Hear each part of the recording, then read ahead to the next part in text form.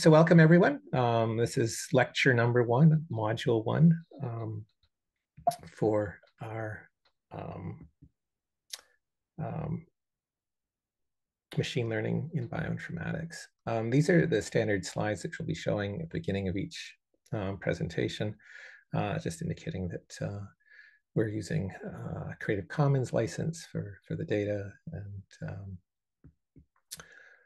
the schedule is already something that uh, Nia has highlighted. Um, I'll show this schedule um, each time we start a new module, just so people know where we are. And roughly, I can keep track of the time because it's um, some of these modules finish at odd times, like you know 12:15 or uh, start at 4:15 and 4:30. So that's sometimes a little confusing, uh, but you guys again can follow along with the slides you've already downloaded. Um, something this is we've had before about asking questions. You can use Slack, you can use Zoom. You can also interrupt um, if you want through the audio. Um, so this is something that's already been brought up. Um, likewise, if you need more attention or if the question is really long and elaborate or requires lots of um, TLC, then we'll try and do that through the, the breakout rooms. Um, so I think I'm just a little puzzled about, yeah, I think I'm just gonna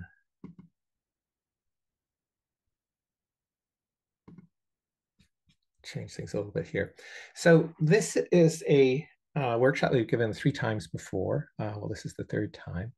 And one of the things I think it's important for people to understand right off the bat is that we need to temper our expectations about what you're going to be doing. Um, this is a two-day workshop. Um, it's not a, a two week or two month or two year uh, program.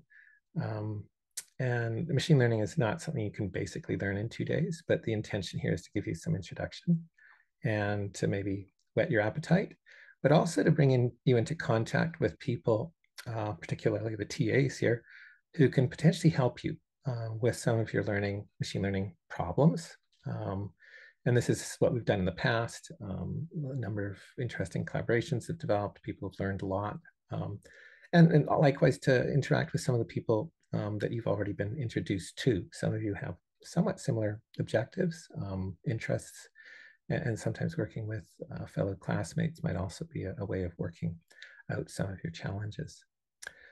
Um, so we're going to talk about machine learning here. This is a very gentle introduction to the first bit. We're going to go show some examples of machine learning, some of which you guys are probably well aware of, others maybe you didn't know about. Applications of machine learning in bioinformatics and genomics and, and proteomics and other areas. And then we're going to talk about the standard machine learning workflow. And this is where there's a lot of confusion. And sometimes people will think that machine learning can solve all problems or that it's the best choice to solve all problems. It, it isn't.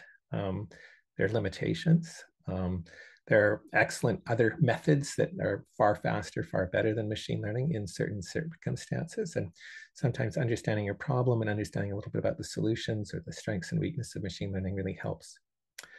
Uh, we're also going to try and introduce you guys to Colab, which hopefully most of you or all of you have done. If you haven't, we'll also take a little bit of time out during the break to help those of you who have had some challenges with Colab or other parts and the code repository. Um, so, um, so as I said, one thing to do is uh, understand that machine learning is very powerful and it's used in many fields. We'll see some examples. Um, fundamentally, machine learning is, is difficult. Um, it has lots of subdisciplines where people have to be familiar with um, if you want to really understand it, uh, at least second year calculus and differential and partial differential equations. Um, typically, you have to have advanced training in math. Um, the coding is also challenging because it is advanced math, and you need to have pretty advanced statistics to fully understand it. Now, I don't want to scare people because many of you may not have that background. And in fact, we're going to be showing you um, I guess, two approaches to, to machine learning. Um, one is the, the hardcore math, uh, which is how back in the 80s and 90s, uh, when I was learning about machine learning, how you had to do it. But a lot of that's been simplified now. And, and so you don't necessarily have to master um, uh, math and computing science and statistics to use it. Um, but if you want to be an expert at it, you do. So there's a there's a difference there. I mean, lots of people can learn how to drive, but not everyone can become a Formula One driver. Um, so uh, that said, two days won't make you guys an expert in machine learning. Uh, as I say, it's intended to whet your appetite to understand some of the um, challenges with it, uh, to look under the hood, uh, to appreciate some of the, the, the tough math, uh, but also to maybe better understand the math. And then to show you how to get around some of those math challenges so that you can, at least if you've got some good programming skills, probably use machine learning in, in your own work. Hopefully it'll inspire you to learn more on your own. And in fact, that's really the intent for a lot of these CBW workshops is to, to get you started. And if you're curious enough, it, it allows you to open other doors along your journey. Um, so most of, in fact, almost all the examples I'll be giving will be using Python and we'll be using the Google Colaboratory, uh, which hopefully most of you guys have um, um, been able to log into or create. We've tried to create R code for each of the modules. Um, not sure Mark is working on one of them. Mark, were you able to finish the last bit on the uh, artificial neural net for the gene finding? Yeah, I'm, I'm still working on the script. It probably will be done by tomorrow. Okay. Anyways, so these are for some of you who are you know fluent in R, who think in R, dream in R. Um, we've tried to also produce R uh, code for this, but the preferred language really for machine learning is actually Python these days. Um, all the code will be provided to you. Um, that way you don't have to install Python or Python environment on your computer, which sometimes can be challenging. So the Colab is a web-based uh, system for programming. Okay, so that's a little bit of a background, tempering your expectations, framing what you could or should expect to be able to do, and also giving you the concept that we're going to show you, you know, the tough way to climb Everest, and then we're going to tell you how to take the helicopter up to Mount Everest, and we'll tell you how to take the helicopter up to Mount Everest tomorrow.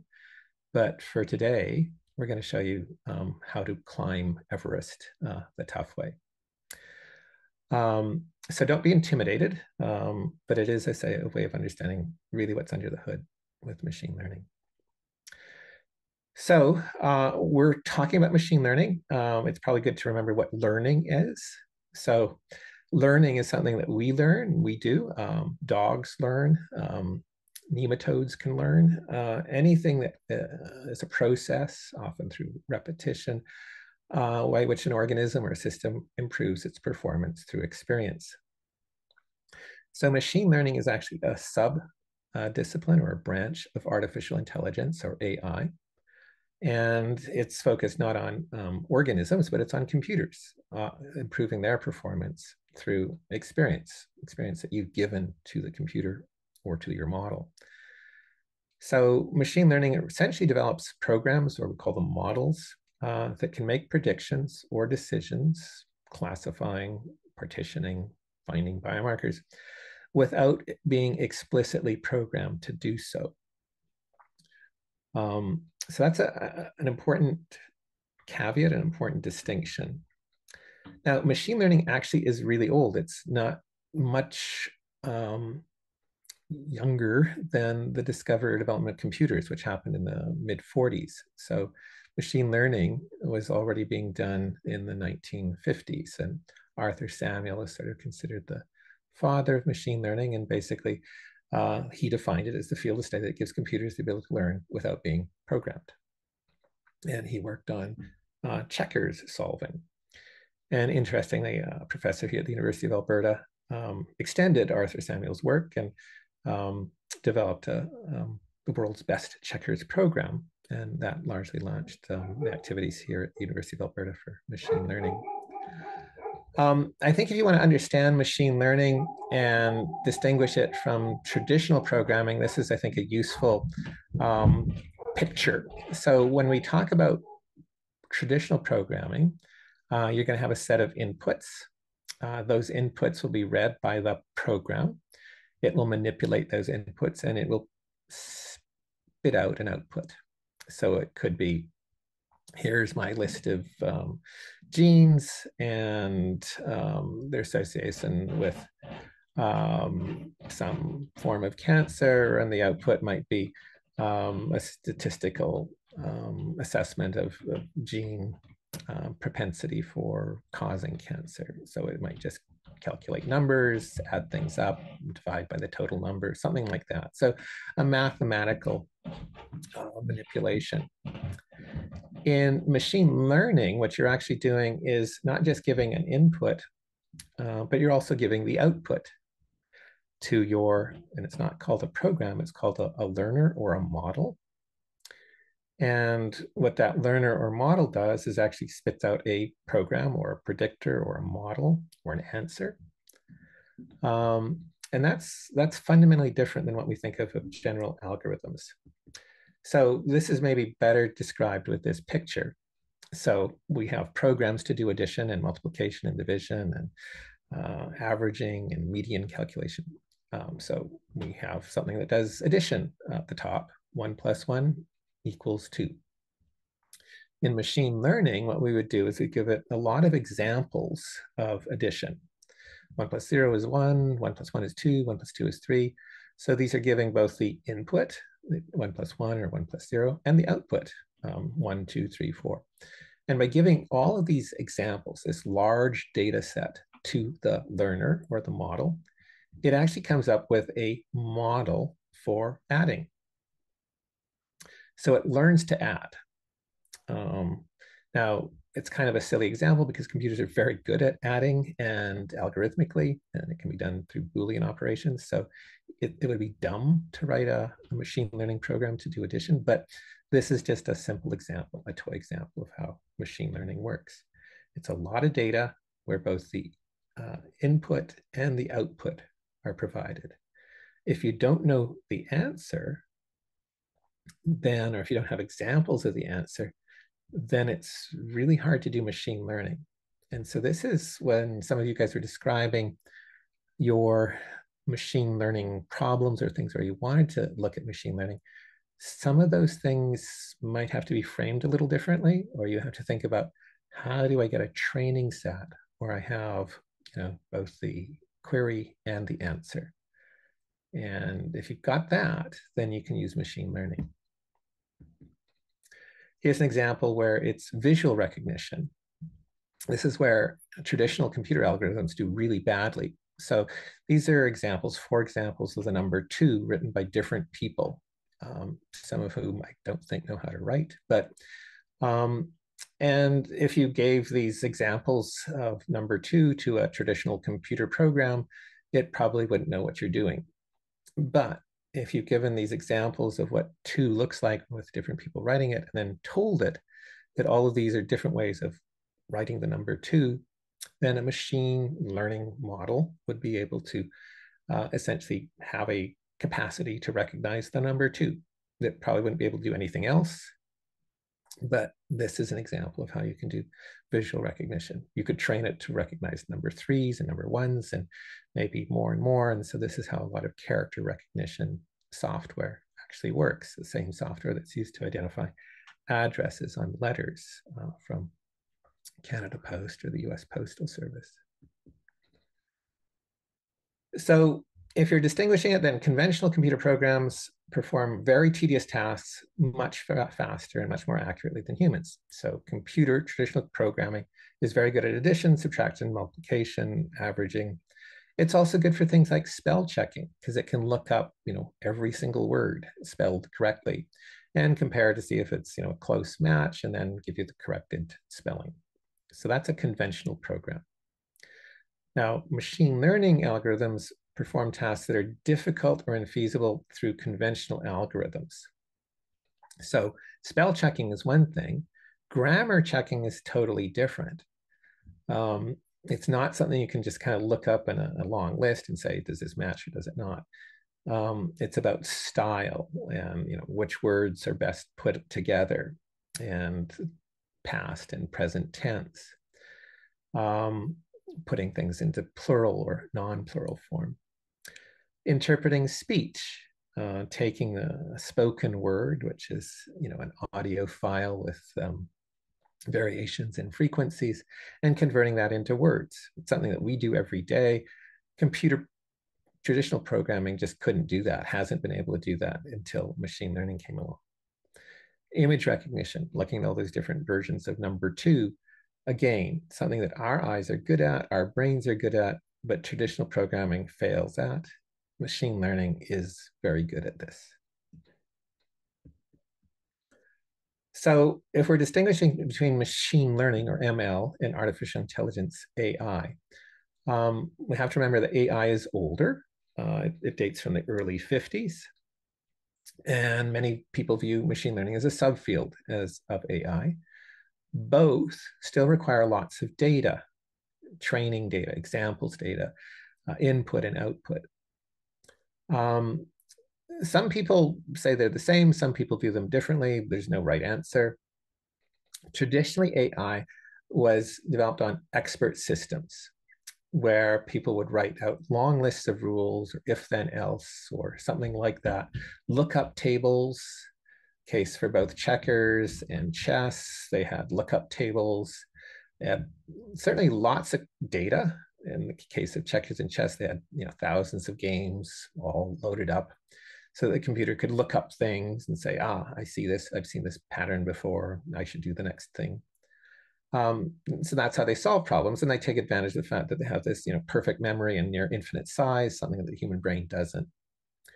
Now, machine learning doesn't use expert systems. It doesn't use if then else. It doesn't use large lookup tables. It uses probabilistic computing. It uses statistics. It uses optimization techniques, um, gradient descent methods um, um, to, um, or maximum likelihood uh, expectation or maximize expectation methods to try and make predictions. So that's different. Um, ironically or interestingly, most of the people who are now working in the field of machine learning actually started in artificial intelligence. And, and so many will do both although I think there's more and more people moving into the machine learning field because of the spectacular successes it's had. So if you're trying to distinguish things between machine learning and AI, something like face recognition, um, whether it's you know from CIA or CSIS recognizing your face, and um, it still has to be able to figure out where a person's eyes and nose and mouth are and how they are in different proportions uh, or recognizing faces when the cell phone focuses on a face or faces. Uh, that's machine learning. Now, AI, uh, which was done, made it sort of um, heralded debut, if you want, when, when Deep Blue uh, beat Garry Kasparov in World Championship test, chess. So this is done in 1997 This used artificial intelligence, but as I said, it used large libraries of many, many chess games and many um, scenarios that it you know, played on its own and played against itself um, to build this, this large uh, lookup table of what to do um, in a chess game. So uh, that's artificial intelligence. It's like having a perfect brain, perfect recall. Um, but it's it's I'd say different than machine learning. Some of you might be old enough uh, if you've watched Jeopardy. Some of you also know Ken Jennings as the new host of uh, Jeopardy. This is when Ken Jennings was much younger. Um, he's um, a guy who was is widely considered to be the, the best Jeopardy player ever, uh, one of the smartest people around. Um, and those who don't know Jeopardy, it's a game that's mostly about um, general knowledge, and you basically have to answer um, a statement with a question, but it's basically still a question answering skill test. Uh, Brad Rutter is considered the second best Jeopardy player of all time, and something called um, Watson, which is in the middle, um, is a computer program.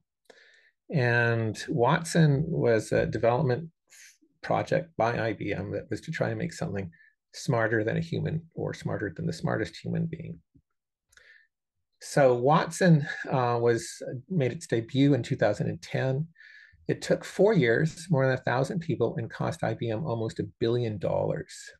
Um, to make this program. And after investing a billion dollars, it won a million dollars in Jeopardy in 2011. Um, and it's actually a very impressive tool because it used natural language processing, which was brand new at the time. So that's being able to understand English language or any language. It used information retrieval lookup, which is sort of an AI thing. It had uh, automated reasoning, um, and it also used some machine learning at the time you had um, things like encyclopedias wikipedia was sort of online dictionaries thesauruses newswire articles dbpedia which is part of the wikipedia wordnet yago all of these resources which are online. And if someone you know wanted to read them and spend you know three years of their life reading it and totally memorizing it it had that. But watson of course had memorized all of this Watson has been moved from you know what used to be a very large computer. It's now on the cloud. It has capabilities to see, hear, read, talk, taste, interpret, learn, and recommend. Um, so it, it's it was sort of the the pinnacle, um, the K two, if you want, of of machine learning and what we thought we could do, and with AI. Um, but then uh, last year, uh, I guess the Everest appeared, and that's Chat GPT. Um, so this is a chat bot. Uh, chatbots have actually been around for a long, long time, but very simple-minded ones. OpenAI released it November 30th. That's version 3.5. It cost almost as much as Watson, about 700 million. Uh, didn't take as many people as 350 people, but they still spent four years working on it. Um, it used much more sophisticated machine learning technology than what Watson had. So it used, the GPT stands for Generative Pre-trained Transformer Model. Transformer models are similar to uh, graphical neural nets, which are more advanced versions of um, um, artificial neural nets. ChatGPT is, is called or a member of the large language model, LLMs, and it used huge amounts of text, 45 terabytes. That translates to about 300 million ty typed pages or 500 billion words. Um, if you wanted to compare it, most of you have probably done texting. Most of you have autofill. Um, so you type in a word, the first two letters, and it guesses what the next one is or next word is. Um, that's kind of what ChatGPT does. It just, instead of trying to guess what the word is, it guesses the next 10 or the next 20 or the next 30 words based on what the previous first two or three words had been. And that's kind of how brain works, our brains, how we how we speak. Um, the amazing thing about ChatGPT is that it seems to be smarter than Ken Jennings. It seems to be smarter than Watson. It has passed very difficult exams and done almost perfectly in the SATs, graduate record exams, legal LSATs, many other things. Um, so this is where uh, machine learning has taken us. This might be some of the reasons why some of you guys have signed in because um, what ChatGPT can do and what machine learning can do is quite astonishing right now. Uh, some of you have used ChatGPT and maybe we'll ask for um, a, a, poll. Well, you can just fill in on Slack or on the uh, chat box uh, with Zoom. How many of you guys have actually used ChatGPT? Um, just say yes, and we'll find out if there's 75% or 50% or 100% of you have done this.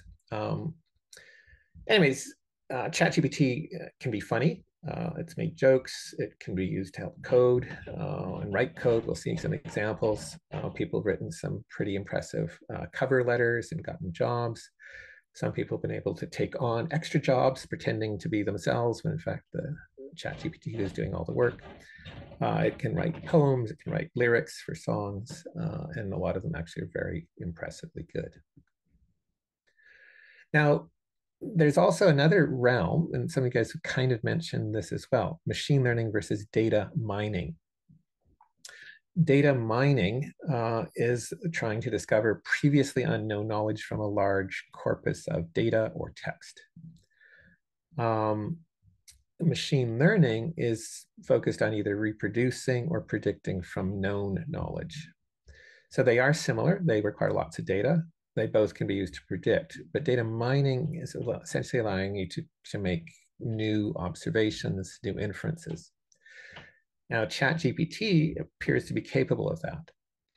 so in some level, ChatGPT can perform elements of data mining. And in fact, you can adapt it and we'll show you guys how to do or use ChatGPT to do data mining or information extraction. Now, the other thing that's been um, talked a lot about over the last few years is deep learning. This is something that ChatGPT does. Uh, it's something that most of the advanced tools in machine learning are able to do or employ. So deep learning is a discipline, a subdiscipline of machine learning. Deep learning uses uh, variations of artificial neural nets or ANNs. What they are is that the number of layers typically used in these ANNs is, is much greater. Uh, we call them hidden layers. And so instead of having one or two hidden layers, you have five, six, seven, or more. Um, so the ANNs become deep neural nets. We have and a sure. A we question? have a hand up in the in the chat. Sure. I think there was. Oh, sorry. Vote. I think I if that was me, I must have left it up from yeah, some of you, I think I just, we wanted to find out how many people had actually used Chat GPT. And I don't know if anyone's been able to count either from the Slack or from the Zoom. Um, 18 yeses here, and I think one hand was up. So 19 in total, I guess. So roughly half of you have used Chat GPT, uh, which is good. Um, um, so I, I, won't be sort of uh, completely um, reviewing something that everyone's been doing. So next, you know, tomorrow we'll talk a little bit more about what ChatGPT can do for you.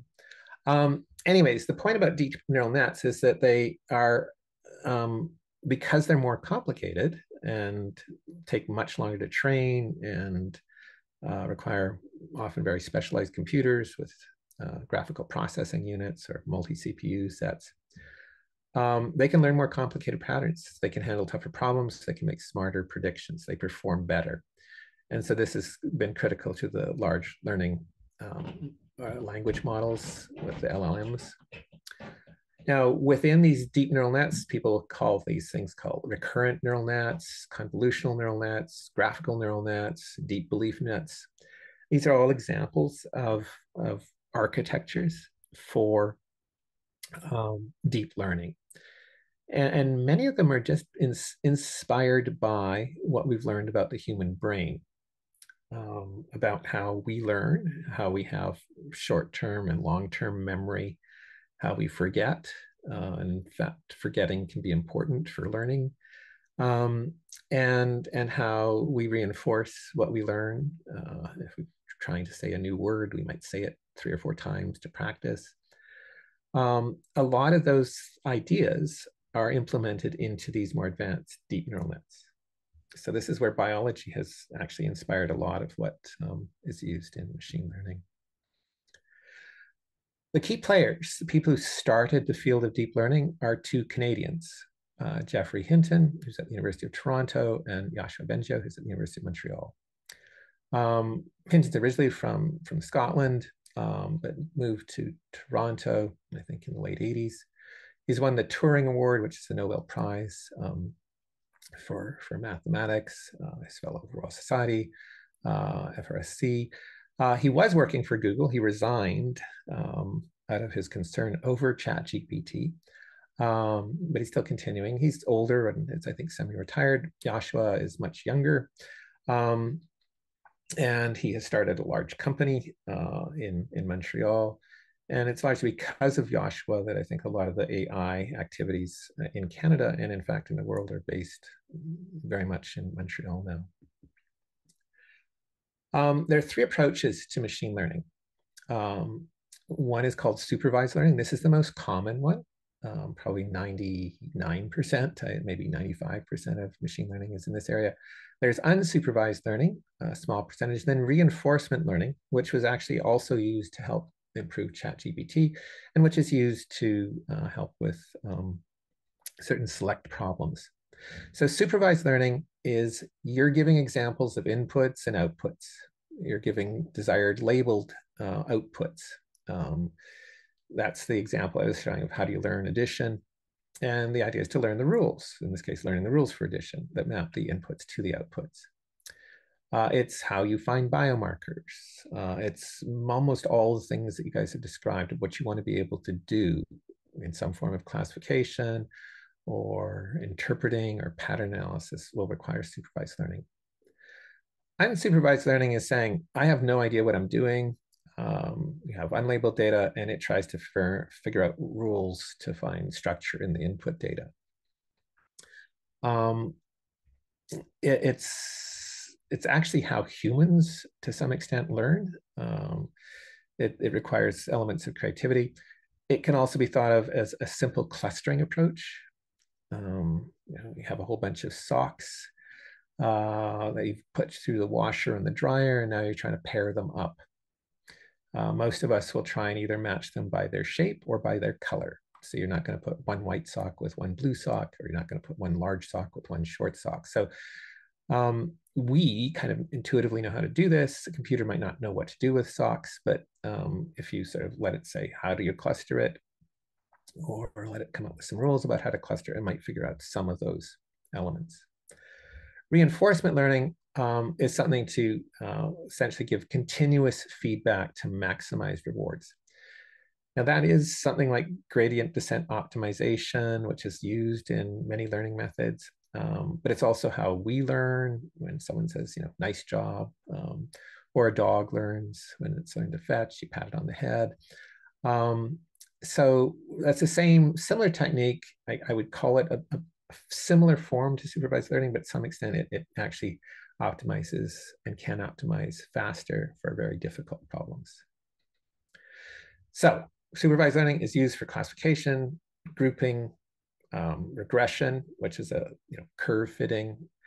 Um, people use it in the filters and ranking and recommending systems, face verification, voice recognition, biomarker identification, um, gene signal analysis, uh, almost all the things that you guys were describing uh, is what you'd like to do or use um, machine learning for. Unsupervised learning, um, it's when you're doing things like target recognition, um, sock pairing, seismic data analysis, where it's just a lot of noisy data and you're trying to figure out where something significant might be.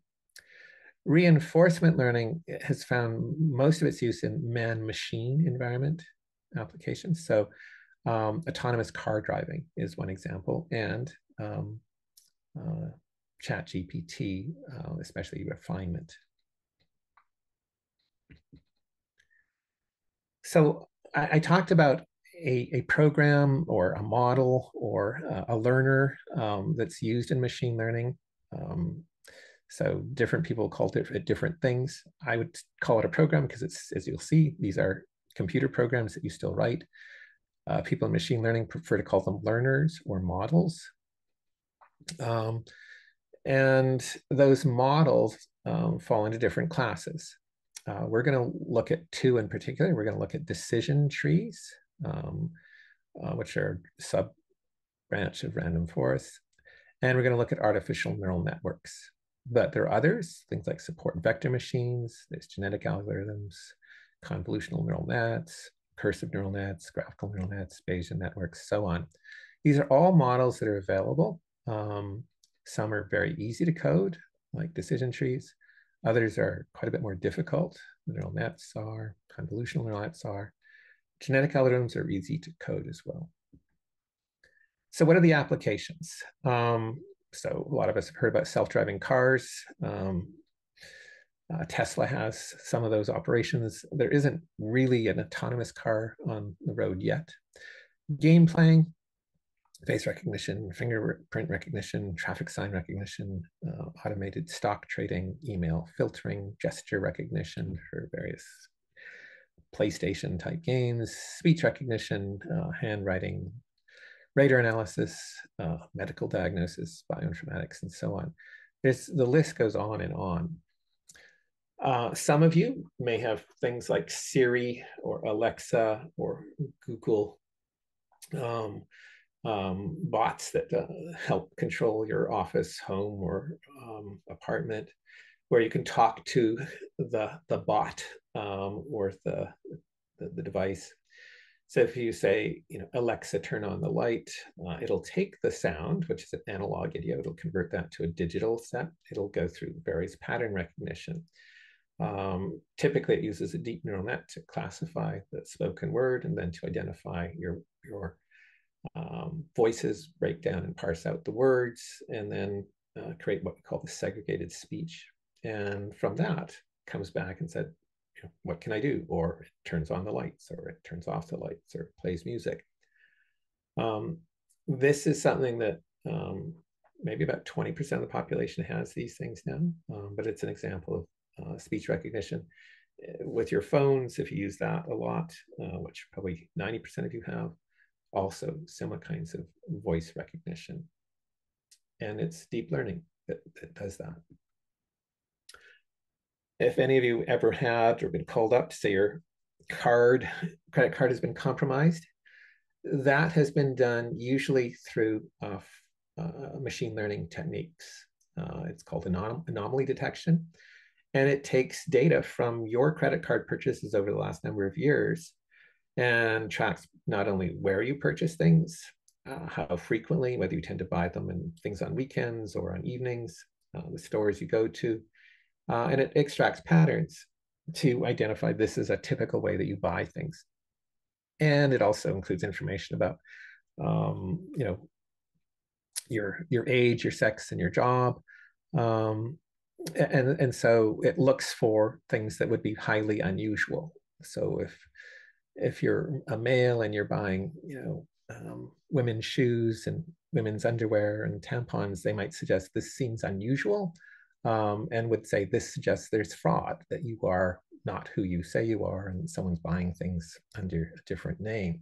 Or if you've always been living in uh, Winnipeg and then suddenly they're seeing purchases in Saudi Arabia one day and, and Manila the next day and Cape Town the day after. Clearly, you're not um, someone who travels the world all the time and jet setting around would suggest there's a problem. So that's how um, fraud prevention is done. Uh, it's highly personalized. Everyone has a profile, and that's how they detect anomalies one of the, the biggest um, news events in the machine learning world happened about 15 years ago, which is called the Netflix challenge. And I'm sure a number of you have used or subscribed to Netflix, and it, it has options where you know um, talks about your preferences or suggests uh, certain TV shows based on what you're you've been watching. Uh, so Netflix had developed uh, its own algorithm. Uh, it was a traditional programming algorithm but they opened up a contest to people saying, let's see if you can come up with a better method that predicts what people will prefer based on their viewing habits. So some people like, you know, action adventure movies, some like uh, romantic comedies, some like foreign films, some like, uh, you know, black and white. Those are all things that you can, you know, infer and classify and get a, again, a personal profile, not unlike a credit card. And in fact, even as far back as 2009, the winner used, you know, data from hundreds of thousands of users and thousands of movies. It was still 10% better. The machine learning algorithm was 10% better than the Netflix algorithm, which they had spent millions um, programming using traditional methods. So that was a really significant boost. And in fact, Netflix continues to use that. Amazon continues that as well to identify what you might like to purchase. Uh, again, that's machine learning. If you have a cell phone uh, and you take pictures with it, um, most of you will have fairly advanced um, face recognition. And this allows the phone to focus on faces um, and to uh, avoid sort of you ending up focusing on the background or on something that's um, um, um, just one individual. So in the picture above, there's one individual uh, who maybe would have been in focus, everyone would have been out, but because the phone was able to recognize faces, uh, everyone's face was um, put into focus. It adjusted the, the aperture and, and, timing automatically. Um, so this is, again, is part of the autofocus, uh, auto aperture adjustment, auto shutter adjustment that's used in, in most cameras. Autonomous vehicles, um, are also examples of um, where machine learning is, is used, particularly reinforcement learning. They've been testing and testing for more than a decade. Um, and driving is a really tough challenge. Uh, you have to be able to recognize a road. Um, you have to recognize changing road conditions. You have to recognize vehicles um, coming at you, road signs, um, and you have to do things like path planning. You have to, in some cases, learn from how an individual, a good driver drove. In some cases, you have to uh, simulate conditions with bad drivers all around you. Um, so reinforcement learning uh, has seemed to be one of the better methods, but it also has to use um, vision, so pattern recognition. So uh, supervised learning is also needed.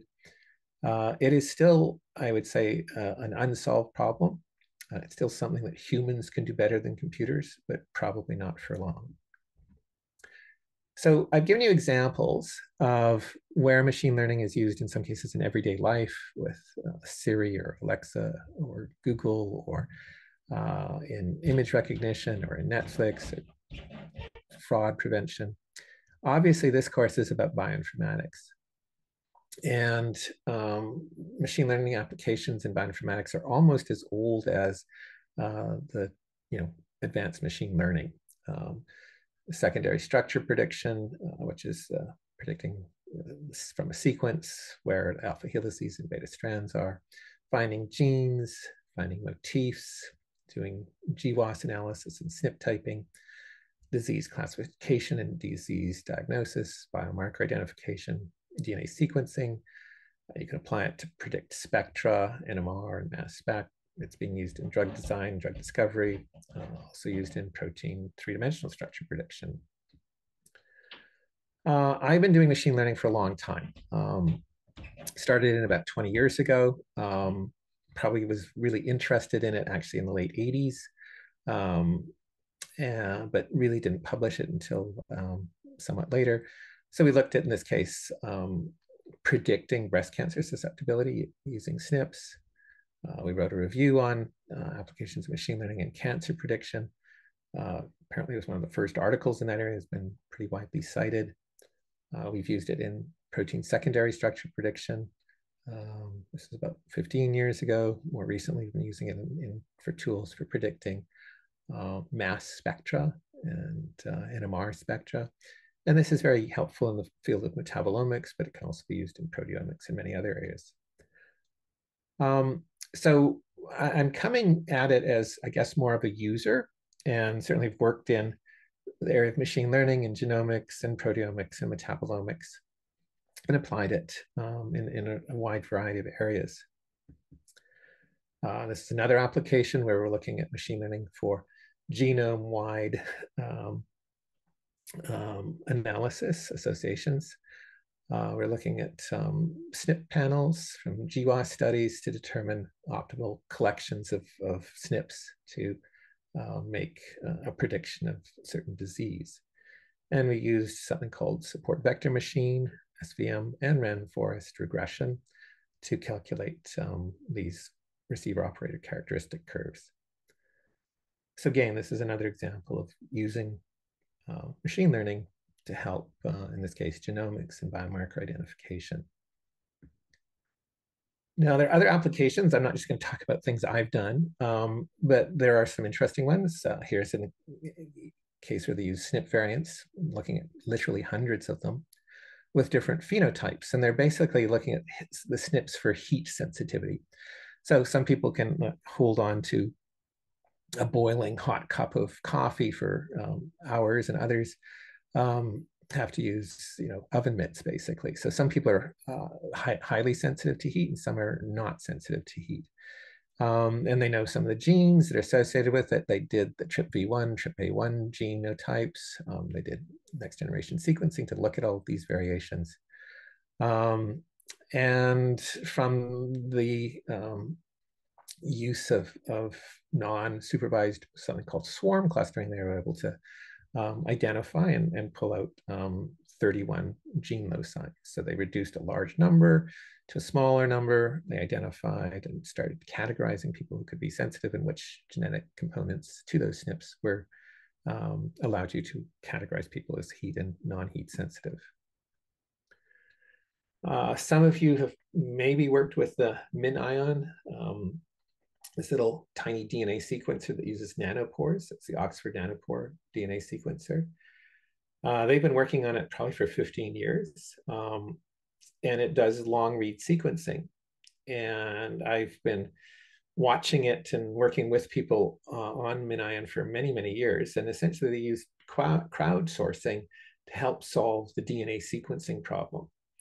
Um, so the nanopore uh, is sort of embedded into a, an electrically sensitive membrane. And so when DNA is passed through the nanopore, you can get a, a change in an electrical uh, readout. It goes up, goes down, depending on the sequence but it's not obvious. Uh, you know, it's not always down when it's an A, and it's not always up when it's a C. It could be something intermediate. Depends on both the the length of the sequence, the number of repeats, how much it changes. So if it's ACGT, ACGT, um, that might produce a very different signal than AAA, CCC, GGG, TTT.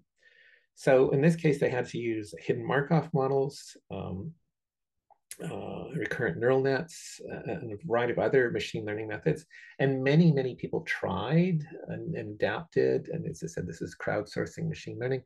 But eventually they solved it. And, and so you can take these readouts, which I'm showing on the lower left, um, and those signal intensities can be read out as letters, as DNA sequence now. And it's quite accurate, quite fast, incredibly cheap. Um, and so this is where machine learning uh, converted something that seemed to be at the time impossible to do uh, to something that is now widely used for long read sequencing. Uh, there are examples of something called DeepBind. It's a deep neural net tool for predicting sequence uh, specificity between D of DNA and RNA uh, binding proteins. So how do you predict which proteins, uh, based on their sequence, um, where they'll bind on um, a strand of DNA or on a strand of RNA. And so this is, you know, taking a whole list of known motifs, um, performing scans, then looking at features using neural nets, targets, uh, updating the parameters. So very much a, a, neural net approach, but it is something that can uh, do quite well in terms of predicting uh, which proteins will bind where and potentially why. There's a deep neural net, deep BioSeq that can use deep learning convolutional neural net and can analyze RNA-seq data. Uh, you don't have to do DNA alignment. You don't have to do a lot of sequence pro processing. You can work with directly with FASTQ files. Uh, it assesses the quality of the reads, uh, and people have adopted it to do single cell sequencing and chip sequence analysis. So again, um, applications of machine learning, looking at sequence data or even just FASTQ files. People have been using machine learning to optimize the design of CRISPR target sequences. Um, so uh, these have to be uh, optimized to some extent if you want to be able to do efficient uh, gene insertion, gene replacement. Um, same sort of thing if you wanted to optimize other types of sequences in terms of recognition. So again, uh, machine learning and molecular biology is very useful. In many of these cases, we're looking at, at sequence data. And so that's where we're focusing a fair bit uh, for the examples we'll be choosing. Um, so um, sequence data is, is like learning a language. So just like ChatGPT learns to recognize you know, words, which are basically sequences of, of letters. Um, DNA sequence data is something that's um, very amenable to, to machine learning applications as is protein sequence data. Um, you can also use machine learning in areas of cancer applications, um, you know, system support tools for cancer screening. So this takes um, uh, genealogical data. Uh, it can take mammogram imaging data. It can take genetic test data.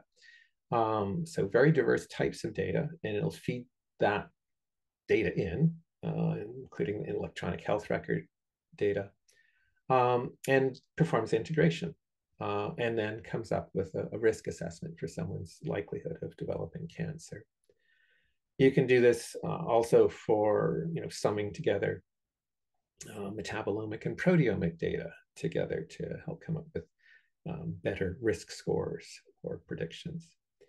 Um, so rather than relying on a physician using machine learning tools, they were able to show that this not only uh, improved the cancer risk assessment, but also was much faster.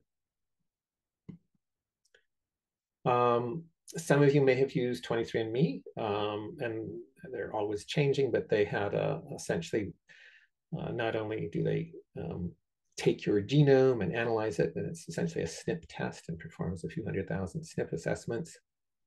But because they've had many, many people take the tests, and because people sign off and say use the data whenever you way you want, um, they were able to take uh, data from 600,000 people, take their GWAS data, which they get from 23andMe, and integrate information that people provided them about their weight and height, therefore their BMI and their lifestyle, to to come up with um, sort of a genetic weight predictor. Um, and uh, in this case, it's predicting that this person will have a tendency to be slightly overweight. Uh, your genes predispose you to weight above 3% above average.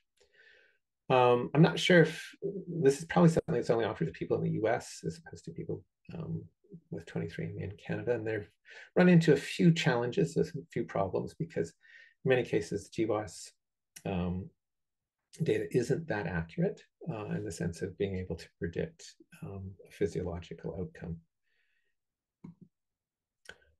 Uh, tumor genomics, uh, looking at single nucleotide variants or SNPs as well, tumor samples. Um, this one uses a fairly simple technique, a random forest, which is a collection of decision trees. Um, and it was used to um, essentially classify tumors. Um, and I think some of you guys have talked about this. So this, um, you know, had to have a collection of you know, appropriate data. They wanted to have um, both normals, uh, they selected certain types of features. Um, they worried about things like strand bias, variant allele fractions, batch effects. But by including those features and those elements in their model, they were able to get um, almost perfect sensitivity and sense specificity, which is much better than what humans could do newborn screening, uh, something that any of you who are under the age of 30 have had. Um, so within two to three hours after you're born, they take a blood sample, they run it through a mass spec, and they determine if you have a metabolic disorder. Something obviously none of you remember, something that none of your parents even know about, but in fact, um, metabolomic screening is the most widely used test in the world. 300 million people have had it. More than a million people have benefited from it. Um, but people do make mistakes. And so by using machine learning uh, to help interpret the, the mass spectral data that they collect from these blood spots, they were able to reduce the number of false positives from 21 to 2 um, for phenylketonuria, from 30 to 10 to hypermethionemia, and uh, from 209 to 46 for uh, another metabolic deficiency carnitine deficiency. Um, one of the biggest breakthroughs um, in machine learning, which I think, I hope some of you have heard about, was for AlphaFold or AlphaFold 2. Uh, again, maybe we can just uh, take a poll. Um, if you could, in the chat, just indicate if you've ever heard of AlphaFold 2 um, or uh, if the TAs can look at how many people have voted yes. Um, anyways, it was considered the breakthrough of the year in 2021. Um, that might be when most people were hibernating in their basement from COVID, so it, it didn't kind of make the headlines I think people had hoped to. But AlphaFold 2 has solved one of the, the biggest challenges in biology, which is the protein folding problem. And it's put a lot of structural biologists out of a job, um, but it's changed how we think about structural biology. So AlphaFold 2 used uh, huge amounts of data of already solved protein folded uh, structures that were in the protein data bank. Um, it then used a lot of um, sequence data because we've sequenced literally millions of proteins through DNA sequencing, and then did multiple sequence alignment. And from these literally millions of multiple sequence alignments, um, they uh, did something called embedding, uh, which um, is a fairly time consuming process, but it, encoded both the alignments and the sequence information intelligently. Uh, it also had information about pairwise distances or distance matrices. It also did coevolution analysis, which is shown at the bottom, which is something that people picked up about 10 years ago, which noticed that some proteins, when we look at multiple sequence alignments, um, there are correlated mutations that if one is changed, then the other is changed. And this suggests um, a constraint that these residues have to be in close contact with each other.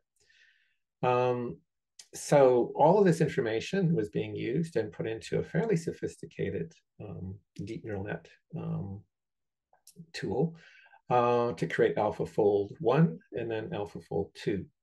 Uh, and this is AlphaFold 2's performance with, at the time, the two other top performing programs. One is called Rosetta, which made news about 15 years ago, and uh, a team uh, Zhang et al. I'm not sure if they're Emory University or something. And they were trying to solve the structure for uh, an open reading frame from the COVID protein. The, um, the structure had just been determined, uh, and then they asked the, the team from Emory at Zhang, and then they asked Rosetta at University of Washington uh, to run it through. Um, the, the Zhang model was um, completely random coil, had nothing to do with the actual structure. Rosetta knew it was mostly beta sheet, but there's actually no similarity really overall. The AlphaFold 2 structure was essentially bang on. And this was an example of a protein. There was essentially no sequence homolog. They couldn't do machine or modeling at all, homology modeling. And so this was just quite striking. And because this was published right during the COVID pandemic, because people are trying to find target proteins and ways to, to find drugs, um, this is sort of, uh, I guess, the nail in the coffin for these other programs, but also um, a real triumph for um, what machine learning can do for um, protein structure and drug discovery. So I'll stop right here, uh, and maybe I'll ask if people have any questions um, or comments, and maybe I could also get a feedback from the, the polls that we took. How many people have actually heard of AlphaFold before? I think there was some 21 responses, 20 were yeses, one no in that case. Yeah. Okay. So either 95% of you have heard of it or 50% of you have heard of it. Um, the um, so does anyone have any questions about um, you know what I've mentioned so far? Because um, this is sort of, a, I say, the gentle introduction to machine learning.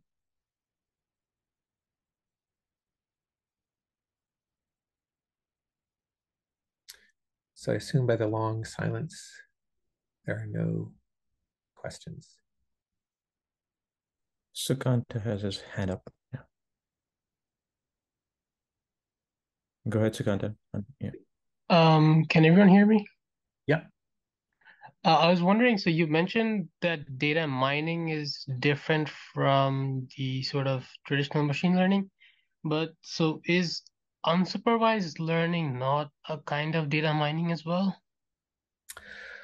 Um, it could be seen as that, um, although it traditionally hasn't been applied to data mining. Um, the um, uh, typically data mining is is done more with with text. Um, it could also be done with um, large, you know, tables of data. Um, and on the supervised learning um, is done more with like I'll say numeric data. Um, and it may be looking for general patterns, as I said, seismic data analysis, um, um, maybe peak finding um, would be examples of perhaps some unsupervised learning. Clustering is a pseudo supervised learning method. But as I say, most people don't really do a lot of unsupervised learning. Machine learning, uh, or I guess data mining, is essentially extracting, it's pulling information out and then looking, um, building up patterns, um, then perhaps like going on through from those patterns, looking at inferences. Um, it can be algorithmically done uh, as opposed to uh, probabilistically done. But yeah, I suppose someone could apply unsupervised learning to data mining if they wanted. I see, I see. Okay, yeah, thank you. I think uh, Nazia has a comment or question. Okay.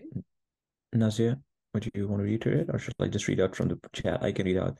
So she's asking, wondering if we will get to learn more about how GWAS summary stats can be used with ML. Yeah, we, we won't have that in this course. Um, the paper that I highlighted in that GWAS um, rocks curve um, paper actually talks about how you can take GWAS summary stats and and um, extract information or or calculate information out of it. You know, the unfortunate thing is most GWAS data is only available in the summary form. We, we have to get otherwise very specialized permission to get the, uh, the really detailed data. But summary data is widely available. And, and so um, when it's in databases and there are ways of extracting, I think, some useful information out of that using machine learning. And so that paper explains it. In, in many cases, I think, you know, what we're trying to get you guys set up for is so that you can look at other papers that do something similar to what you want to do, but look at it with a different eye afterwards. Uh, maybe not be so intimidated by what they're describing or be a little um, more aware of the language they're using. Um, so we're, you know, in two days, we're not going to be able to solve every problem um, or show you how to solve every problem, but to give you more grounding so that you can, as I say, intelligently read some some papers or um, um, download some software and, and, know what you're doing to, to actually uh, install it so it, it helps you in your project. Likewise, you know, you're free to talk to Vasu and Sagan and Mark because they've solved lots of machine learning problems for lots of people. And uh, that's why we have them TAs here. Thanks. Um, so we do have a question from chat. I'll take first question from chat and then we have two hands raised. So question from Sunetra Das in the chat. What are the applications of genetic algorithm? So genetic algorithms are, are more often used for optimization. Um, and, and searching through space to, to optimize, but then you can use a genetic algorithm as part of the um, optimization process that's used in learning. So a, a genetic algorithm uh, would be, a, I guess, a, a, tool that would be part of uh, or potentially part of some uh, optimization part of, of learning. Um, I think there's some people who have used genetic algorithms as as a learning process. Um, genetic algorithms are are very simple to program. They sort of you know uh, just like genes, um, you know, crossover and hybridize. Um, you can and will mutate and transform and frame shift. That's sort of a way of of moving your data or configurations or examples around. And um, it turns out to be a fairly efficient way of optimizing things. And this is how evolution has happened. Um, you know, genes have uh, crossed over and mutated to change from, you know, single cell microbes to, you know, giraffes and elephants um, to adapt to different conditions. So um, this is uh, how you know, optimization can be done, um, which is part of machine learning. Yeah. Uh, probably Nazli, please go ahead with your question. Um, I was wondering the effect of the quality of the training set that you will have for the machine learning. Um, I was using AlphaFold 2 a lot, and I know like the coevolution theory and where is it coming from. Uh, but I was wondering what did they do much better? Like, uh, is it more algorithm is much better or their training set is better? Uh, there are lots of things sort of simultaneously that made AlphaFold 2 better. Um, and there's a couple of articles that have appeared, one I think in Scientific American last year, which sort of talked about the history of what they did and how they you know, rewrote AlphaFold into AlphaFold 2. Um, a lot of it was the um, the machine learning model they chose. It was more advanced and more sophisticated. Um, and, and, so um, I think they attribute a lot to that. I think it was also making better use of the data. A lot of people had just used coevolution, nothing else. Um, the difference distance matrices were critical, and people hadn't really used that before. Um, I think they have a really good um, energy optimization function, um, which you know, gives high quality coordinate um, and um, um, produces things the better. I, think they had reached a critical threshold in terms of the number of sequences and the number of structures. Um, so you know things start happening when you get beyond a certain threshold. And this is something that happened with the large language models. You know, Chat GPT was kind of useless two years ago, but as the model grew, um, then it suddenly passed a threshold um, in terms of the number of data points that were in it. And this seems to be a, um, I mean, you can experience it yourself. You know, you struggle to, you know, do a, a problem or to, you know, uh, perform a gymnastic trick. You practice, you practice, and suddenly at some point it just it happens.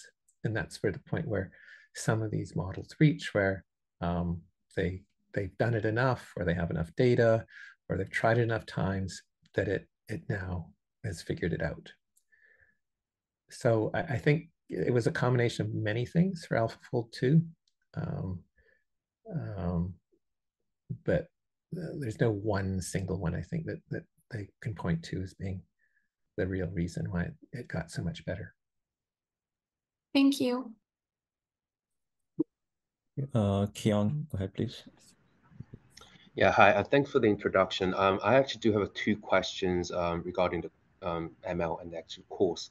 Um, looking at the just material that you have shared, um, I have not seen any like kind of um, normalizing method to pre-clean the data set before you actually put in the training set. Do you have any, do we have any kind of resources to get trained on this? And second question is that I've heard there is a, some kind of black box in terms of machine learning or even deep learning, meaning that um, sometimes the model do not find the right features, but looking at even batch effect or things like that and choose that feature and give out the wrong result. So um, would you able to explain a bit more about this thing, the black box? Thank you. Yeah, I, I mean, in terms of you know data cleaning, uh, I will talk about that coming up here. I'll, I mean, there isn't any single algorithm or magic solution to data cleaning. Um, you have to be, you have to understand your data. Uh, if you have no idea what your data is, what it's about, um, you won't know how to clean it. Um, but there are some pretty standard things about, you know, in, imputing missing values or um, um, normalizing things so they're within a certain range. Um, in terms of the black box concept, um, yeah, um, I mean, there are some machine learning algorithms that are not black boxes. Uh, decision trees and even random forests are not black boxes. Um, which is a reason why some people prefer them because they can, you know, look at the code and look at the results and rationalize what's going on and what's what's been chosen and why. Neural nets are black boxes, although there are some methods that kind of allow you to figure out a little bit about what it's trying to do. Um, you can do something called feature selection, which makes sure that your model isn't choosing random useless data to make its inferences or to become overtrained. Um, we'll talk about that coming up here shortly.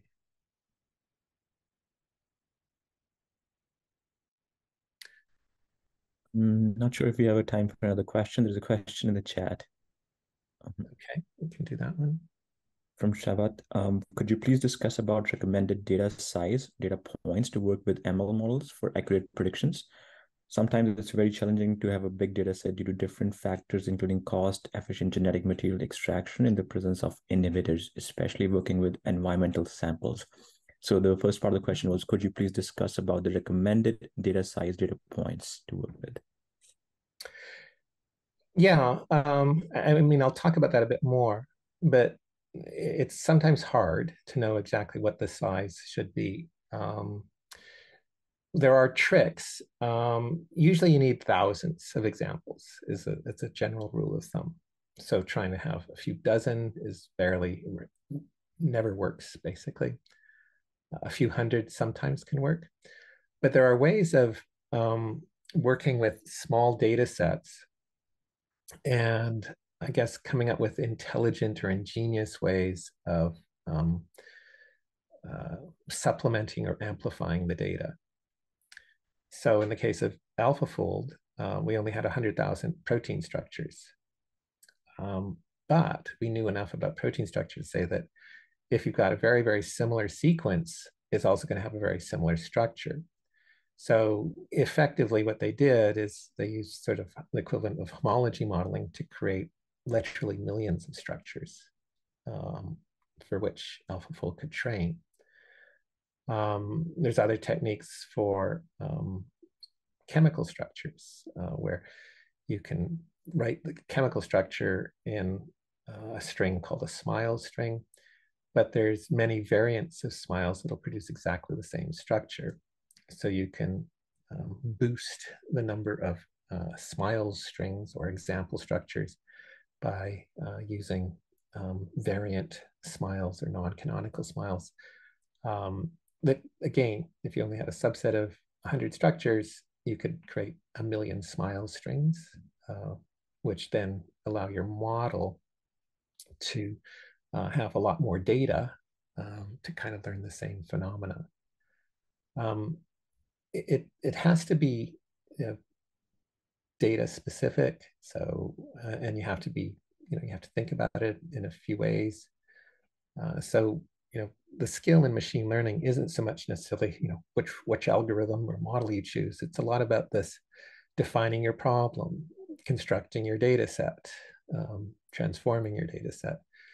Those are where the real winners are. And, and the best machine learners are the ones who do those things well.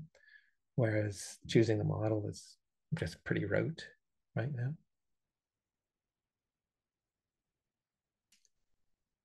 Okay, I think we'll, we'll probably have to get underway because we only have about 20 minutes left here, I think. Um, so this is the machine learning workflow, and, and this is one that I'll show over and over again, but it's one that you guys need to memorize, I think, if there's anything I can get out of this course. Um, and, and there's sort of six steps. And the first step is really defining your problem um, and having a target solution. Um, a lot of people make mistakes by not defining the problem very well. Um, you know, I want to solve the world's problems. Well, that's not well defined. Um, I want to solve the protein folding problem. That's reasonably well defined, but it's a given a protein sequence, I want to determine the three-dimensional structure within, you know, two angstrom RMSD. That's a better defined one. It has a def definition. Um, and proposing a solution, which might be saying, I want to use the protein data bank as a training set, or I want to use a protein data bank plus a whole bunch of homology models, plus coevolution, plus multiple sequence alignment to help um, with this process. So you have to think about your problem long and hard, identify whether you have enough data, think if it's well defined enough, think if it's something that gives you both an answer. So in the case of the protein folding problem, we had answers, we had structures, we had 100,000 structures. Uh, so that was a large database. Um, but we also knew that there were millions of sequences that we hadn't solved for. So that was a, you know, a, a well chosen problem, a prominent problem, but it, it, had enough training data, or if you thought about it in smart ways, uh, could create enough training data to make it solvable. So once you've chosen your problem, then you have to construct your data set. Um, and so again, in AlphaFold 2, they had data. Some of it was clean, some of it wasn't. Um, they had to do a lot of data cleaning. Um, but it took a long time to build those data sets, to do those multiple sequence alignments, to run the programs. The multiple sequence alignments weren't done with machine learning, they were done with multiple sequence alignment programs. Um, you know, structure analysis was done by, again, programs, not machine learning.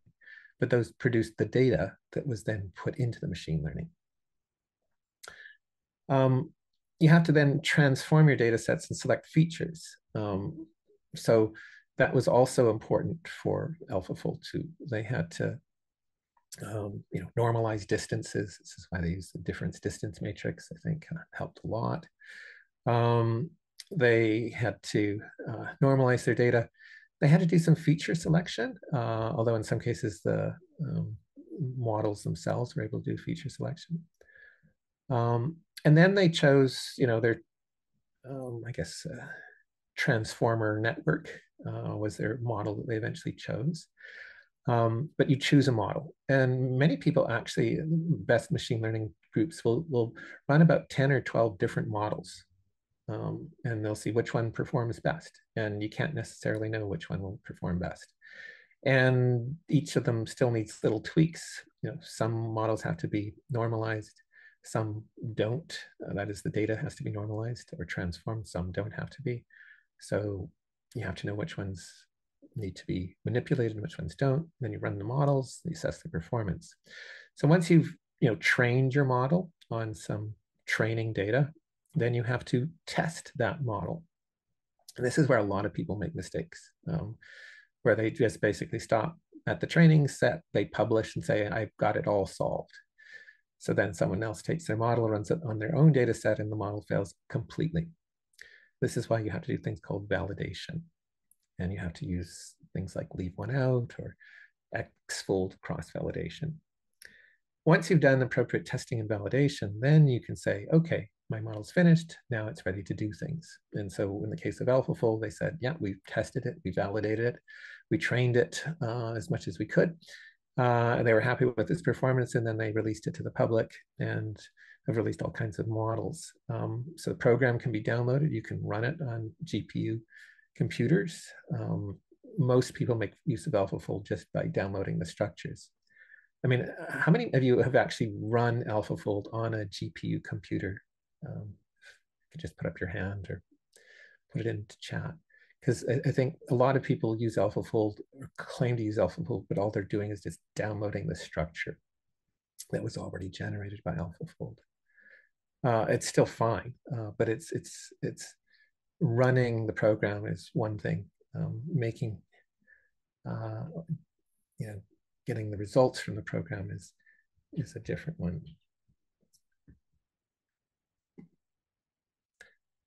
So when you're choosing problems, um, obviously you want to work on a problem that hasn't been solved or that is interesting to you in your research. Um, sometimes people propose problems that are very easily solved mathematically um, or statistically. Um, so, and some of you, at least from what I heard, were describing problems that I think would probably be better solved by a, an algorithm uh, or a, a technique um, than a, pro, a traditional program rather than machine learning. Um, sometimes obviously try and choose things that are just too tough to do uh, or require a huge amount of training or knowledge. Generally, you want to look at things like finding patterns, uh, classifying things, uh, classifying groups, identifying certain features. Um, but the other thing that a lot of people gained from some of the descriptions you had, um, there weren't a lot of training data to work with. Um, or examples where the answer just isn't known. Um, so, you know, I want to find dark matter, write a machine learning program to find dark matter. Well, we haven't found dark matter. And we don't know what it looks like. We don't know the answer.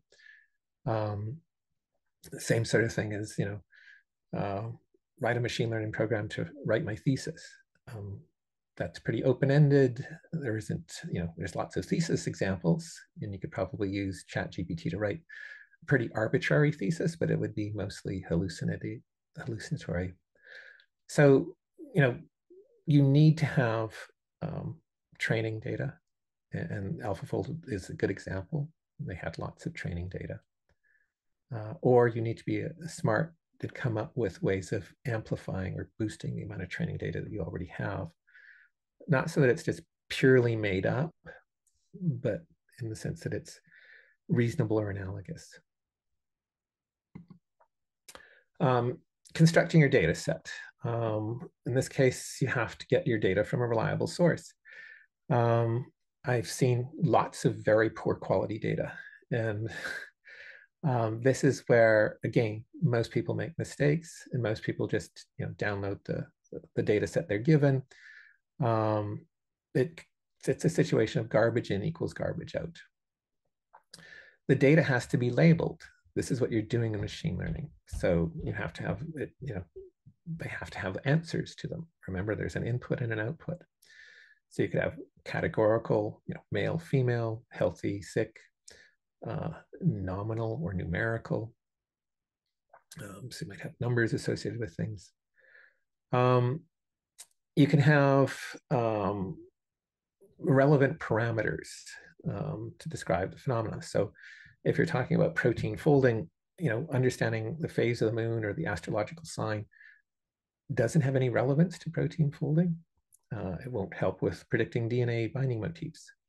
But, you know, obviously the sequence does, or um, something about the secondary structure could, or uh, something about the uh, organism uh, may have some relevance, or the temperature at which the organism lives. Those could all have some effect. They might have some way of contributing um, in terms of DNA binding or protein folding. Um, so, you know, use your knowledge, use your intuition uh, about what sort of data you want to include. Uh, because if you miss the central features and you try and predict without those, you know, key pieces of information, your machine learning model won't do very well at all. So trying to predict protein structure without the protein sequence, it won't work. Um, so you need training data, you need testing data, and you need validation data. So there's three types of data that you have to create when you start off with machine learning. Say there's no right answer. Um, people can get away, um, perhaps with a, as minimal, as few as a thousand examples. I've seen situations where people have had as few as a hundred examples, but then they used, you know, smart data amplification methods to get, you know, tens of thousands. Most of the average uh, machine learning problems um, that people work with have, say, 10,000 to 100,000 examples. Uh, we'll be doing one which uses maybe about 700, and you'll see it doesn't do great. And I think if we had more, it would have done better. If you're doing really tough problems, um, this is where people talk about parameters and how many billions of parameters and millions of parameters in large language models. It can be millions or billions of examples. So ChatGPT um, and others have, you know, between 10 and 100 billion parameters and used hundreds of millions or billions of words and text and examples. And they had to use, you know, this is for deep learning. So not every problem you guys are thinking of has these requisite numbers of examples. And, and that's something that might constrain what you want to do. Uh, but there are also, I say, smart ways of taking relatively modest amounts of data and, and amplifying it to get to the stage where you can do machine learning. So after you've constructed your data set, then you have to transform your data and select your features. Um, so cleaning up the data, remove repeats, fill in or impute missing values, reformat so things are compatible, um, look for outliers, um, group classes. These are all things that people often don't do, but are needed to do. And this means you have to know something about your data, and we call it data cleaner, data cleansing. Um, you might convert categorical or named or nominal data to numeric ones. You can use things like one-hot encoding, which is very helpful for um, uh, machine learning. You can normalize uh, skewed data, um, that is making it more Gaussian. You can range scale. So there's data transformation in something called feature engineering. You can add additional features, uh, include obvious relationships that you know about the field. You can select some features that's called feature selection, keeping relevant data, but remove irrelevant data. And this is where human intuition helps. And it's a lot of the best learning algorithms used human intuition to do feature selection. So one hot coding is, is an important thing. We'll see it a few times uh, later today, um, where the way that we think in our brain, you know, here's a four balls. One is red, another blue, another green, and another one's blue. We understand color, our brains understand it, uh, machines don't. So you can convert colors to a kind of a, a digital signature um, with the three uh, binary, uh, three bit kind of encoding. Um, you know, red is 100, green is zero, or blue is 010, and green is 001 and now you've done one hot encoding. Um, you can do this for colors, you can do this for letters and sequence. Uh, one hot encoding is really easy to do, uh, but uh, it doesn't give you context. So if you've got, you know, the, the word RED, um, there's a sequence of letters. Uh, and, you know, if it's ERD, it doesn't mean the color red. If it's DRE, it doesn't mean the color red. It has to be RED. Um, so embedding gives you um, features with similar influence to the data string. It's, it's, sequences or words. It gives you similar values for specific features. You can encode or embed sequence data. You can in hot, hot encode sequence data. Um, but if you've embedded sequence data, that's generally more information there. It's useful in um, natural language processing, named entity recognition, text summarization, but people have used it in gene finding and protein structure prediction as well. Again, it's sort of with text and words or letters, and where the, the sequence of letters or words has important meaning. So here we can take um, eight or nine conditions, man, woman, boy, girl, prince, princess, queen, king, and monarch, and we can you know, create a nine-bit encoding a man is 10000, a woman is 01000, boy is so on. And so you have this big matrix and it's, you know, with just a whole bunch of ones and zeros. But you guys would probably notice that, you know, men and women, uh, boy is similar to a man, but younger, a prince is similar to a man because that's what you call uh, male royalty. A king is, you know, higher up than a prince, and a monarch is similar to a king or a queen or a princess. So you can then embed things. So rather than having this nine by nine matrix, you can have a three by nine matrix. And you can give terms instead of one, two, three, four, five, six, seven, eight, nine, you can have femininity, youth, and royalty. So man is not feminine, but a woman is. A man is not young, a woman is not young, but a boy is, and a girl is. A prince is royal and is also a youth um, and is not female. Uh, a princess is a female, is a youth, and is associated with royalty. So you've now encoded things, there's sort of a richer amount of data. And, and so this is embedding and it has context. Um, and this is quite useful actually in machine learning, but it's it requires some intelligence. And obviously there are different ways of embedding. We could have had three categories, we could have had two categories, four categories. Um, Another part of machine learning involves feature engineering. We have to do things where we manipulate the data, we scale, we transform, normalize. Um, makes it more suitable for modeling. Um, it improves the model performance. It reduces the impact of way outlying data that's just too big or too small. So in fact, it, it makes things sure that things are on the same scale.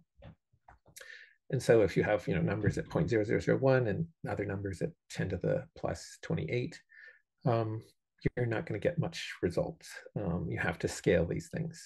Um, and when things are of different orders of magnitude or different ranges, you have to make sure that those, especially numeric data, has been scaled or normalized.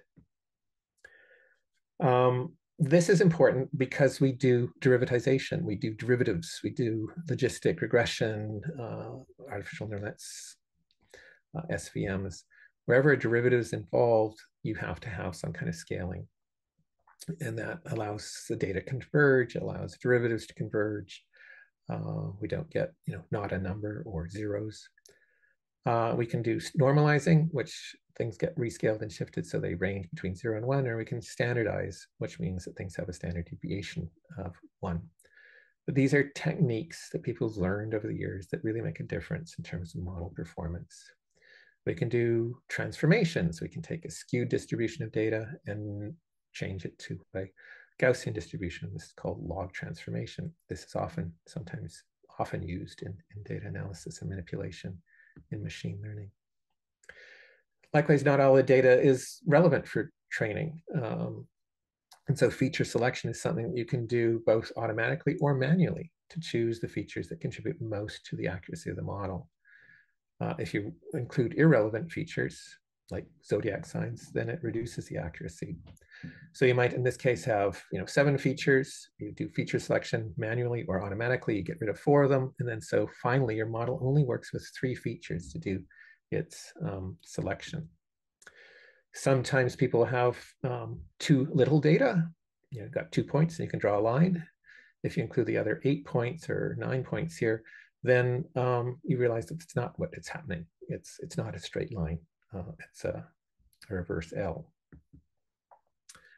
So those are things about how to transform your data set. A lot of mistakes are made in that, selecting features. A lot of people don't do it or don't use intelligent uh, feature selection. Next one is to choose a model. Um, all of these are learners or models, decision trees, neural nets, hidden Markov models, SVMs, GNNs, uh, CNNs, belief nets. There isn't any way to know which one is the best. So as I've said before, try a bunch of them. Uh, some do remarkably good, some do remarkably poor. Decision tree is the simplest of all. Uh, it's easy to implement. This is a decision tree about who survived in the Titanic. Um, you know, as a rule, it was women first, um, so a lot of men died. But of the males, um, they chose children to stay, to be put into lifeboats. And if those were young enough, um, some survived. If they were old, then they mostly died. And then if there are lots of uh, brothers and sisters, they also had a better percentage of surviving. So from this, you could kind of predict uh, who would survive. And, and the, the computer can take the data and actually figure out how those decisions were made. And I think most of us know that you know women and children first uh, when a boat's sinking. Um, decision trees have branches, uh, which we call edges, and they have nodes, which we also call leaves. Data scaling is not needed for decision trees. So this is actually really nice. It, it means you don't have to do all those transformations I was talking about because it doesn't require derivatives. A random forest is essentially a collection of a whole bunch of decision trees. This has you know, three decision trees that are shown, but it might be hundreds. It's an ensemble learning method, and you can do with decision trees and with uh, regression or random forest ones, you can do both classification and you can do curve fitting or regression. And it takes a collection of unconnected trees and you do essentially prediction by committee. And a lot of people a lot of governments and organizations work with committees and everyone comes up with slightly different decisions, but you kind of a, a majority vote or average those um, many decisions to come up with usually a final result. And often those are much better than the single decision tree. ANNs, artificial neural networks, try and simulate the brain. Uh, they're connections of nodes and units. These are artificial neurons, and they're modeled similar to brains. And ANNs can be used for classification and for curve fitting. Hidden Markov models are another type of model. They're probabilistic graphical models. They can be used to model sequence data or events over time, uh, Markovian events. They use emission and transmission probabilities as showing how you can predict whether the weather will be leading to a dry or damp or soggy soccer field, depending on whether things are rainy, cloudy, or sunny. And there are various probabilities that are shown with numbers around them, various hidden states. HMM is something we used to teach. They're incredibly complicated, and they've been largely replaced by what are called LSTMs, long short-term memory uh, neural nets, which seem to be much easier to implement and also probably easier to understand. But they're very good for predicting time trends, sequential events, um, things like predicting the weather, but they're also been used to do, you know, identifying sequence motifs for many years in bioinformatics. Support vector machines, never understood why they call them that, because they aren't machines, they're algorithms. Um, they use something called a kernel trick, but it's another transformation trick to take the data, uh, finds a boundary in multi multiple dimensions. We call it a hyperplane to classify things. It's very similar to something that was developed in the 30s called discriminant analysis or linear discriminant analysis. SVMs can be used for classification, biomarker finding. They can be used for regression as well, just like the neural nets and random forests. So these are different models. Um, and I could go on and on, but we don't have time. Um, the testing and validation is another one where many people make mistakes. Um, it's trying to avoid using too few parameters, which we call underfitting, or the most common mistake is overfitting, using too many. Here's some examples of underfitting where you've got a whole collection of data points and you just draw a straight line. It's probably not the good fit. You can see in the middle one where it's just right. And then the tendency for most machine learning algorithms, especially people new to the field, is to do the thing on the far right, which is you know connect every point.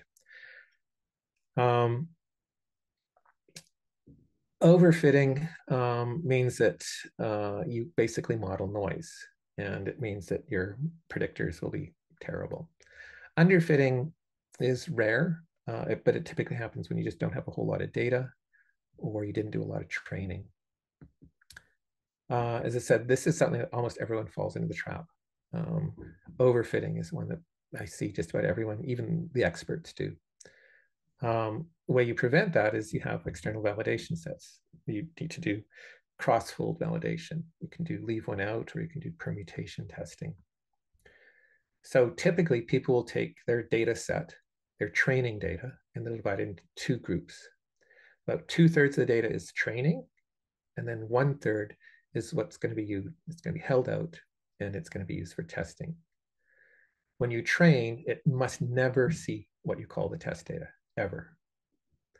You can then divide your training data into smaller parts, which can avoid a problem called training bias. So if this is your training data, which is now just two thirds of your total data, we can take the training data.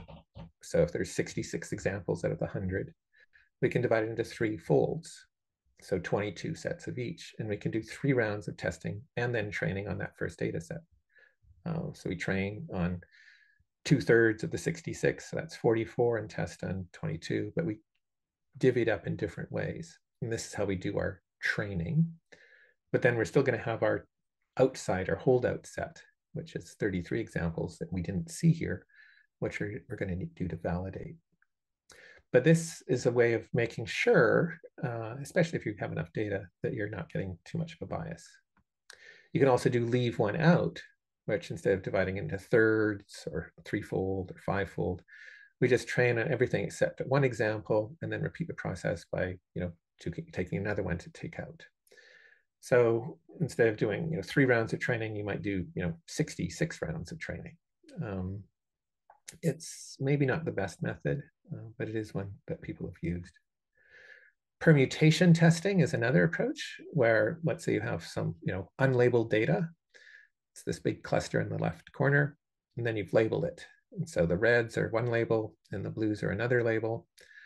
Uh, and then you have a classifier that groups things, and that classifier pulls things apart very nicely. And we can see the red cluster in one side and the blue cluster in another. So our classifier has done a nice job of separating this labeled data.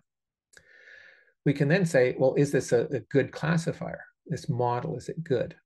Um, well, then we can relabel our data, which I've done just below in the middle. So I call it a permuted data. You can see the reds are different, the blues are different. I run the same classifier on that permuted data, and then I see what I get. And as you can see in this case, it didn't separate them at all.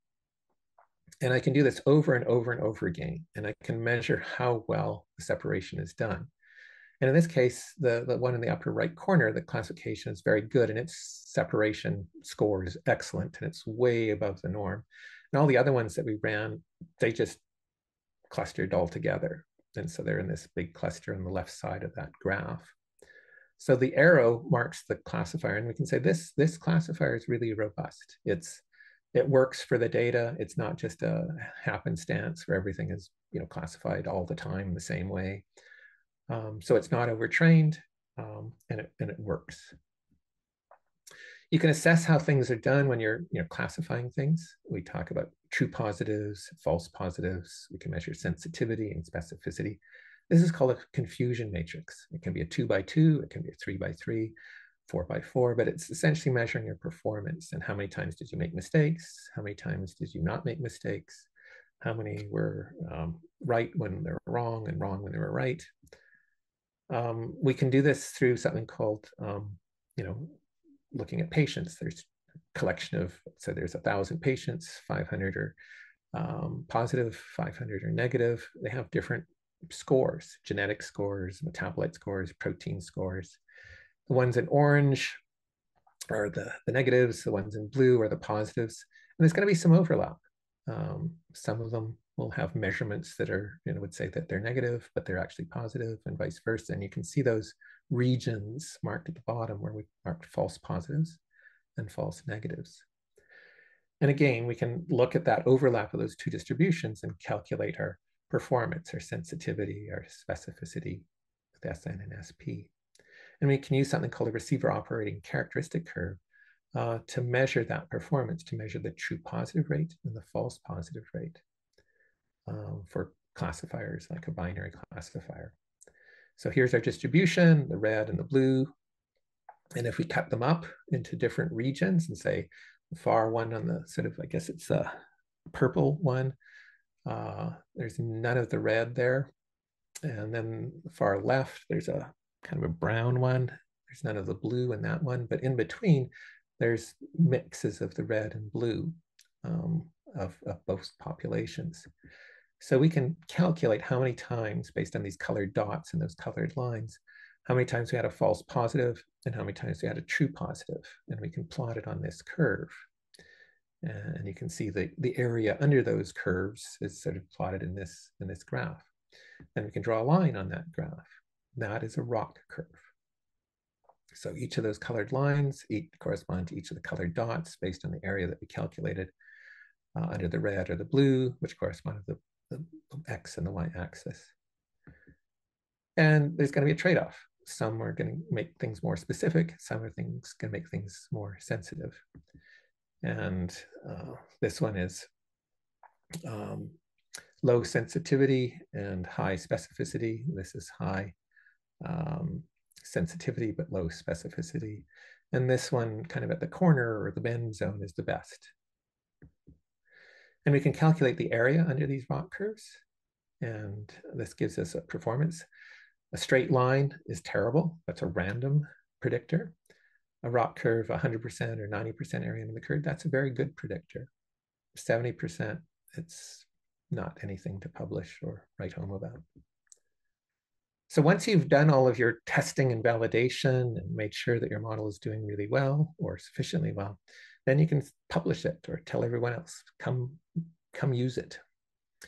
And we've done this for a few things. We've done this for, you know, predicting MS spectra using hidden Markovs and artificial neural nets. And, you know, we've tested it, validated it, published it, put it on a web server. And now lots of people can use this um, tool to predict mass spectra. Uh, we've done this for protein secondary structure. We validated, tested it, performed all the assessments, and then we put it out on a web server. So, you know, we've done this for lots of different uh, examples, and many other people have done these. But this is what you do when you finish your predictor. You either release it on GitHub, you publish it as a web server, or you use it internally and sell it to other people and make money. Those are how uh, a lot of people in the machine learning business uh, work. So we're going to, you know, over the next two days, show you two types of machine learning models, a decision tree and an artificial neural net. We're going to apply them to general classification, secondary structure prediction, and gene finding. These are kind of toy problems, but they should give you a better understanding of how these work. We're going to deep dive into the algorithms. We're going to use Python. We're using Google Colab. And then we're going to show you how, after climbing Everest through the hard route, we're going to show you how you can helicopter up to Everest using Keras and scikit-learn and do the same thing and code it much more quickly um, using these, uh, these other tools. And that'll be done tomorrow. So this is the end of the module. Um, I think we'll just make sure that everyone has been able to, you know, get onto the Google Colab. These are slides that all of you received. If any of you haven't got these things and haven't been able to do or install uh, or even create a, a Google account, then you should follow these slides or use the break that we have to, to go through this. Um, so these are all something you've got. I'm not going to go through this again. Uh, the different um, libraries that we'll be using, uh, also about the R and where to get the um, student pages, the course repository. Hopefully everyone can get those. And then because of these libraries like scikit-learn, Keras, TensorFlow, Azure, PyTorch, Weka, a lot of the things that are going to look pretty difficult today uh, can be done much more easily with these libraries, and we'll see how to do that tomorrow. So I, I've just tried to make sure that you have a basic understanding of machine learning, understand how you can use it, can use it for pattern finding, fitting, prediction, biomarker identification. There are many different models. It's used in many things that you use today. And it's certainly becoming much more accessible because of some of these things. And we'll learn about how that can be done tomorrow as opposed to today. Uh, we've talked about the history, the applications, uh, the data access or the ideas and how you scope your problem and frame it are, are really critical to, to making it work for you. So I've gone over time. Um, I also do want to emphasize that you know machine learning isn't for everything. In fact, many common multivariate statistical techniques like principal component analysis, partial least squares discriminant analysis, logistic regression are all technically machine learning methods. They're very old, but they work really well. And there's really nice programs. MetaboAnalyst is one where you can do biomarker identification um, pretty automatically uh, with just about any data set. Um, so you don't have to know machine learning, you don't have to know programming, you just upload your data set and MetaboAnalyst's biomarker model module can do your biomarker identification using either traditional statistical methods or sort of these multivariate statistical machine learning methods. It does offer um, support vector machine models, which are you know, closer to machine learning ones. Um, but um, those are examples where you can just go to a online tool and, and get your biomarkers discovered from pretty complex data. It could be genetic data, proteomic data, metabolomic data, transcriptomic data. The MetaboAnalyst handles it all. Um, clinical data, um, and and and determine or identify your biomarkers. So you don't need to do any coding, but uh, I think a lot of you here are here to learn a little bit more about how to do uh, just that sort of thing, so you can customize your models.